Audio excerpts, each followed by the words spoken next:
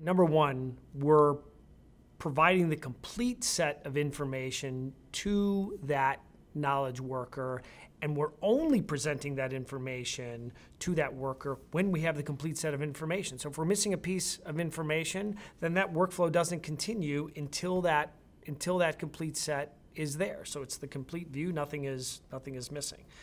Second, we're providing it in a prioritized fashion because according to rules, it could be first in, first out. It could be a number of characteristics that would cause uh, a, a, a, particular matter or a, uh, an issue that needs decisioning to rise to the top of the list. So what's being presented is the most important things first.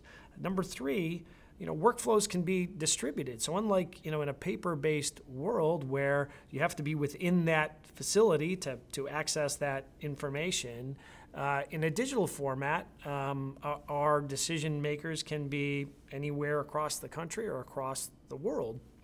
Fourth, uh, it doesn't have to be serial. It's not like all of the information has can only be reside with one person at one time. We can provide this information to multiple parties uh, in in, in, in, in parallel. We don't have to wait for one to complete before the other process to start.